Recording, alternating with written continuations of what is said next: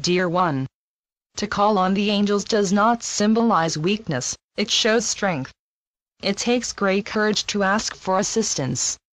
There is a thought form in your society that says you must do it alone if you are to be considered responsible and mature.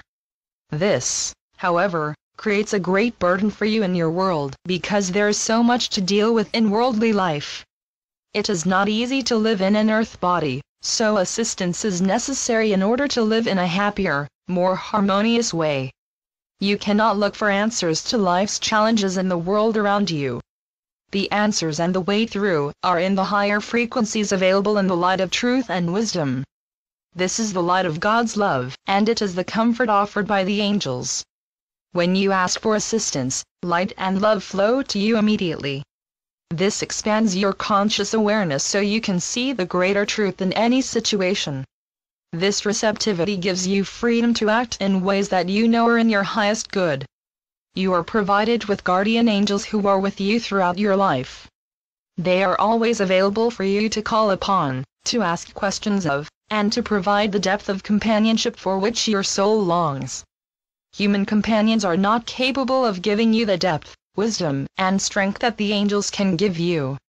If this level of relationship is something you desire, call on your angelic friends now.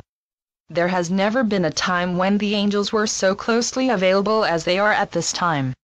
Presently, the veils are very thin between the worlds. This means that you can pray and take the time to call in the presence of your guiding angels, and they will be there for you. You can ask for signs of proof.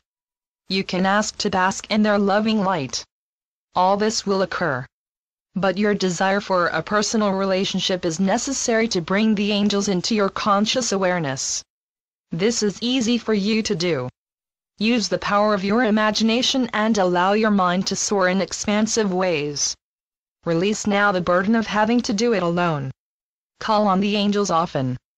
Ask for help in every situation you will be held in comforting wings of loving light, and your way will be cleared. This is an angelic promise to you. We love you and bless you always. Remember, call on us often and picture the wings of angels enfolding you in light.